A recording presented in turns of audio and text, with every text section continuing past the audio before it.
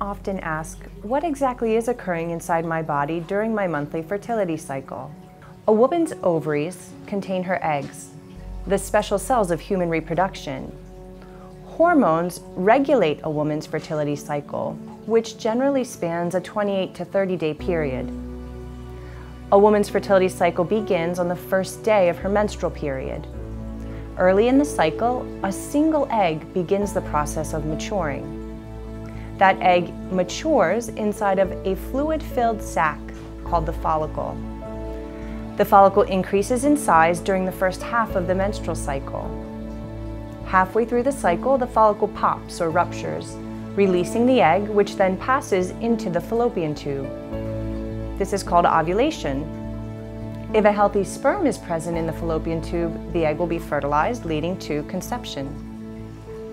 As the follicle grows, it produces a very important hormone called estrogen. After the egg is released, that follicle shrivels up and becomes something called the corpus luteum and begins making another important hormone called progesterone. Here is a diagrammatic representation of the hormonal changes that occur during the menstrual cycle. As you can see, estrogen rises to a peak just before ovulation and then falls dramatically. After ovulation, estrogen is still being made, but now progesterone becomes the dominant hormone. These hormonal changes are critically important for normal fertility. Estrogen goes right back to the follicle, helping it to mature completely.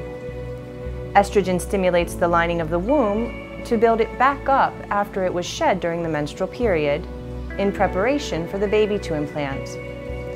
And estrogen travels through the bloodstream to the bottom part of the womb, which is called the cervix, and causes a clear, slippery fluid to be produced. This special fluid, in and of itself, plays an important role in a couple's ability to conceive. First, when that fluid is not present in the vagina, sperm die within hours. The egg lives for only 12 to 15 hours, which would make the fertile window very short. When the fluid is present, and it's usually produced by a woman's body about four to five days before ovulation, it protects the sperm from the acidity of the vagina and allows the sperm to live for up to five days lengthening the fertile window.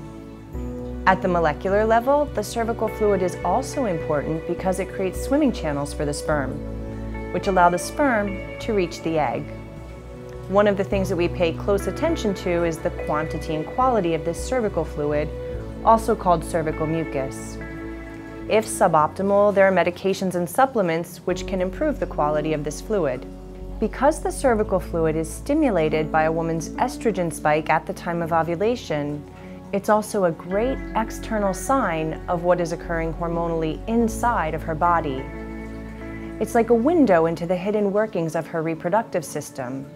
Thank you for choosing St. Peter's.